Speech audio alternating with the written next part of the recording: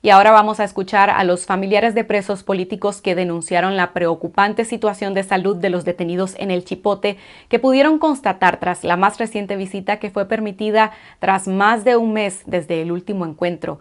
Los reos políticos se hallan aislados, pues solo han tenido siete visitas en más de diez meses de prisión.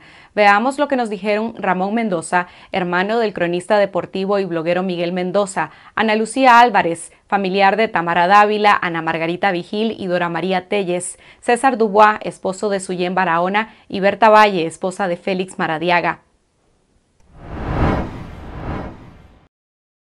Tras más de 40 días sin poder verles desde la última visita, los familiares de los presos políticos en el Chipote constataron un grave deterioro en la salud de los recluidos, severa pérdida de peso, problemas de salud desatendidos y persistencia de los interrogatorios, aislamiento e incomunicación total. La reducción de las porciones de comida ha sido tan drástica que los reos políticos padecen de hambre. Ahora están reduciendo la, la cantidad de alimentación que reciben, eh, menos alimentación que la que recibían antes.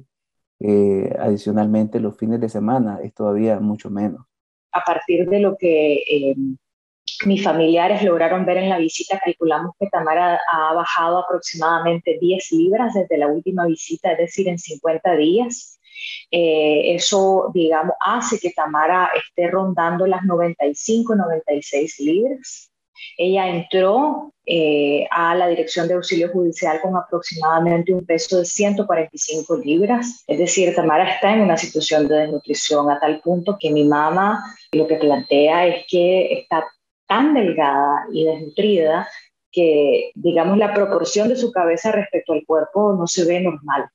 Miguel sigue bajando de peso, está más delgado, su testa está más seca, eh, le dieron nada más dos horas de sol en todo el mes. Dos horas de sol, una hora en un momento y otra hora en otro. Eh, continúan los interrogatorios y, luego pues eh, que la alimentación sigue, sigue mala. Las afectaciones de salud y condiciones médicas de los prisioneros se han empeorado. Aún así, las autoridades no proveen atención adecuada ni especializada bien era una persona totalmente saludable, no tenía ningún problema, ¿verdad? Ahora sí padece de dolores, ¿verdad?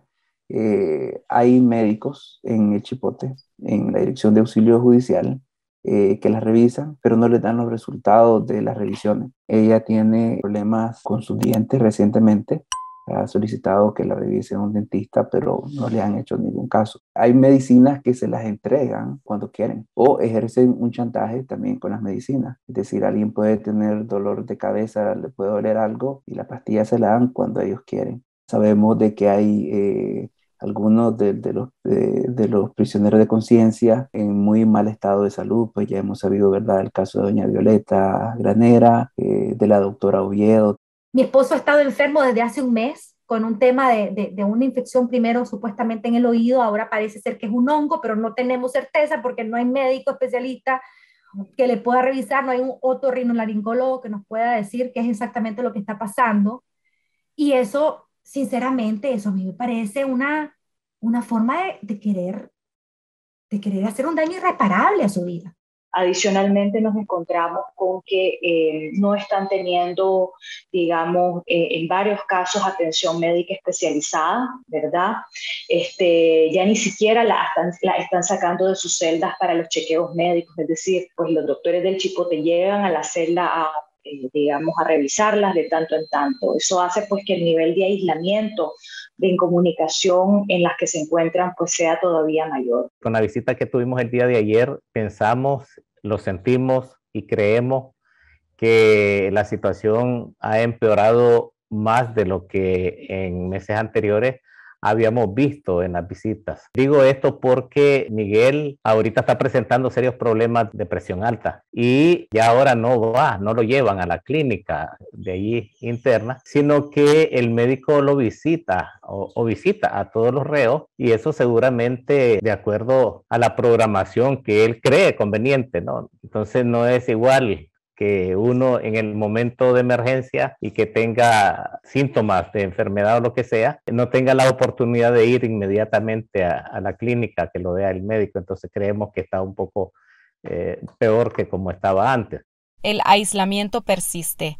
Hay quienes siguen en celdas de castigo completamente solos. A los demás no les permiten hablar ni comunicarse con nadie, mientras que los interrogatorios como forma de tortura se mantienen. Está aislada, eh, no permiten que se comuniquen con, nadie más, ¿verdad? Eh, y, las castigan, pues si, si hacen algo, si, si, si hablan, solo por hablar. Eh, tratamos de que recibieran una foto de, nuestro hijo. Nuevamente fue denegada. Hay cosas que son totalmente incomprensibles, ¿verdad? O sea, ¿qué, daño puede tener que, vea la foto de su hijo? Igual se ha hecho el esfuerzo de tratar de que, le reciban una Biblia, no han permitido nada. La celda completamente en penumbra, 24 horas, ha tenido muy poco acceso a la luz solar.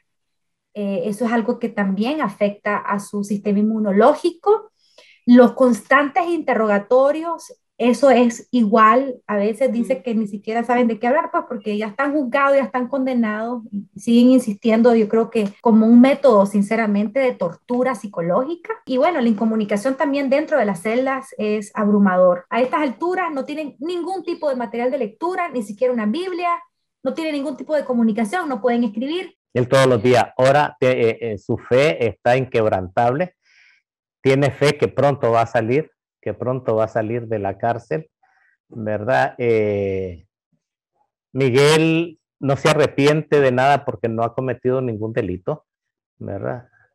No ha cometido ningún delito y cuando le hacen los interrogatorios, él seguramente les refuta, les dice, ¿por qué no, lo, han cambiado de celda de castigo en 10 meses? O sea, e, eso, eso es, ¿no? Porque Miguel no, no le han doblado el brazo en el inicio, en, en, algunos interrogatorios, hasta le decían arrepentirte, ¿de qué se va a arrepentir Miguel, no? Y entonces eh, Miguel anímicamente pues dice que está bien. Sí le preocupa la desconexión o la falta de humanismo que hay en las autoridades, el no permitirle que pueda ver a su pequeña niña, su pequeña hija, tener pues alguna comunicación, un video, eh, permitirle que, que la niña le pueda escribir y él poderle escribir también. En el caso de Tamara y de Ana Margarita, ¿siguen en celdas de castigo? Efectivamente, siguen en celda, eh, bueno, Tamara está en una celda internada, en la misma celda en la que ha estado ya por casi un año, ¿verdad?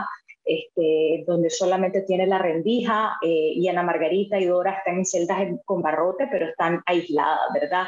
Y con custodios que están afuera de sus celdas para que ellas no puedan hablar y comunicarse con el exterior. Eh, incluso, es decir, como el custodio está cerca, incluso hasta la gesticulación, ¿verdad? Es decir, ningún tipo de comunicación es permitida. Eh, y a eso voy, ¿no? Es decir, también eso, el aislamiento, la incomunicación, el que no puedan leer, el que no puedan eh, hablar con una persona que tienen cerca. A Tamara ni siquiera se le ha permitido que podamos ingresar un dibujo de su hija. Eh, Tamara tiene una niña de seis años que tiene casi un año de no ver a su mamá, que, que tiene casi un año de ni siquiera haber podido hablar por teléfono los familiares también denunciaron que siguen los tratos abusivos hacia ellos al ingresar a El Chipote para la visita. Eso no solamente pasa en el Chipote, también pasa en los sistemas penitenciarios y son situaciones a las que familiares, quienes además en su mayoría somos mujeres, este, sucede, ¿no? Y tiene que ver con eh, requisas excesivas, eh, de tocamientos, desnudos en algunos casos y agresiones sexualizadas. Es decir, aquí hay violencia específica de género por parte de autoridades del sistema penitenciario y por parte de policías de la Dirección de Auxilio Judicial que están haciendo tocamientos indebidos a familiares y sobre todo a familiares mujeres. ¿verdad? Y eso hay que denunciarlo porque es una agresión específica y es una agresión de género particular. Vos sabés que uno encontrar a su familiar allí, encontrarlo con dificultades, con enfermedad, más delgado, eh, eso preocupa, pero luego vos querés demostrarle a tu familiar el amor y el cariño, la solidaridad y, luego pues el respeto que, nos tenemos como, como hermanos, como familia. Y, y, luego también está Margin, que es su señora, Y entonces, pues hay, hay momentos y, tal vez frecuentes que uno lo abraza a, su familiar, ¿no? lo abraza, lo besa, lo soba, quiere demostrarle el amor y el cariño que, se le tiene, ¿no? Entonces estábamos en eso cuando llegó un oficial en esta ocasión, ¿no? Que no era ninguno de los que están fuera, sino que de una alguna oficina llegó y, dijo, bueno, eviten por favor este, abrazos y besos. Eso significa entonces que hay cámaras, que hay cámaras y te están, te están vigilando, te están este, a través de la cámara en, algún lugar, en algún sitio allí mismo, en, alguna oficina, eh, eh, le están, lo están vigilando a uno. Eh, no hay privacidad para nada. Y luego que están faltándote al respeto, al derecho, ¿verdad? Este, familiar, al social, humano y lo que se quiera, este lo están irrespetando. Yo creo de que es demasiado, pues eso. Yo creo que eh, se ultraja a, la persona, al reo, al familiar. Los parientes de los reos políticos denunciaron que las autoridades mantienen las condiciones precarias y trato inhumano hacia los detenidos.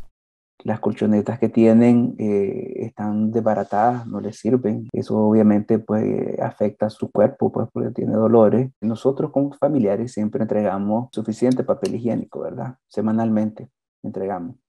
Entregamos paquetes de papel higiénico y otras eh, eh, cuestiones de, para eh, la higiene personal. Pero les, como forma de los chantajes también, o los castigos, ya les están entregando menos papel higiénico. El día que hubo el terremoto en, en, en, Managua, ¿verdad? Que todos lo sintieron, no lo sacaron al patio, lo dejaron encerrado. Es decir, que ni por una medida de, de prevención de un desastre mayor, una medida que si hay un terremoto, lo primero que tiene que hacer es buscar cómo salir, ¿verdad? Y esperar hasta que pasen eh, las réplicas. Eh, no los dejaron salir. Ellas pidieron que las dejaran salir un momento, pues, para esperar que pasaran las réplicas y no, no les permitieron. Tras esta última visita, la preocupación entre los familiares de los reos de conciencia es mucho mayor al ver el desgaste y el empeoramiento de salud física y emocional de los prisioneros. En esta visita, que para mí ha sido una de las peores, en el sentido de que lo que pudieron describirme no es nada alentador. yo conozco a mi esposo, Cindy, yo sé cómo es Félix, yo conozco su voz, su fuerza, su convicción. Y una de las cosas que me comentaron es que lo miraron bastante callado, ¿verdad? O sea, va escuchando bastante, tranquilo, o sea, con mucha paz, con mucha serenidad, pero, pero con una actitud distinta a, a su ímpetu, ¿no? Que él siempre mandaba cuentos para la Alejandra y nos contaba, ¿verdad? Cosas que había estado pensando y, y en esta oportunidad mucho menos. Yo me atrevo a decir categóricamente que lo que está pasando en el Chipote es una forma casi que de exterminio como los campos de concentración. Hay una intencionalidad de parte del régimen para tratar a estas personas con crueldad. Y finalmente lo que a mí más me alerta es pensar en que podemos tener otro episodio como lo que pasó con Hugo Torres. Sinceramente, o sea, ese es el nivel en el que están las personas presas políticas. No solamente en el chipote, también las personas que están en otros sistemas penitenciarios. Eh, estamos sumamente preocupadas eh, por la situación de, de ellas, ¿verdad? Este, hace algunos meses, ¿verdad? Varios familiares lanzamos un SOS y la verdad es que yo creo que a partir de las circunstancias que nos encontramos en, esta última visita, yo diría que es fundamental volver a alzar la voz con fuerza, eh, denunciando lo que está pasando. Nos encontramos en una situación terrible. Que tengan compasión. Estos son eh, ciudadanos, ciudadanas inocentes que no deberían de estar ahí en primer lugar eh, y sin embargo, aunque sean prisioneros de conciencia, tienen eh, derechos, tienen derechos humanos, tienen derechos ciudadanos que se deben de respetar. Eh, y el trato cruel e inhumano que han hecho con, con todos ellos y ellas no, no debe suceder, no debe suceder. Y un llamado para que haya un cambio de corazón, un cambio en la conciencia, para que no tengamos más víctimas mortales para que no tengamos mayores consecuencias. hay una política de Estado intencionada de desgaste, ¿verdad? Y de tortura que está focalizada en la falta de atención médica para que sus cuerpos se vayan, digamos, eh, deteriorando y vayan siendo susceptibles eh, a eh, cualquier situación, ¿verdad? La verdad es que yo estoy seriamente preocupada porque ya hemos visto casos lamentables como el fallecimiento de Hugo Torres, ¿verdad? Y otras situaciones también de presos políticos que han salido hasta el estado vegetal de las cárceles en Nicaragua. y la verdad es que aquí esto no puede volver a ocurrir. Y aquí hay una política de Estado que intenta hacer eso. Aquí hay una política de Estado de tortura eh, que busca vulnerar sus cuerpos, que busca vulnerar sus mentes y que busca someterlos. A pesar de todo, eh, sí, Suyen eh, está muy consciente de sus convicciones, ¿verdad? De, de que es una lucha justa, que son inocentes, que no han cometido ningún delito la verdad es que más allá de todas estas situaciones, la verdad es que son personas increíbles, eh, las encontramos fuertes de espíritu. Eh, Tamara nos dijo una frase, ¿no? Que ella se repite todos los días desde que entró al Chipote, y es que ella se propuso eh, salir de la cárcel como una mujer más bella, más fuerte y más comprometida. Y eso lo está cumpliendo y el régimen no la va a lograr someter. Exigimos las visitas periódicas conforme dice a la ley nacional. Exigimos que sean tratados con dignidad, exigimos que se cese la incomunicación con sus familiares. Esto no puede seguir así. ¿Con qué necesidad? Y exigimos al Estado de Nicaragua que tenga un poquito de humanidad. esto es lo mínimo que estamos pidiendo. Nuestra demanda al Estado de Nicaragua sigue siendo el mismo, la liberación incondicional de nuestros familiares porque son inocentes, porque lo único que hicieron fue ejercer su derecho ciudadano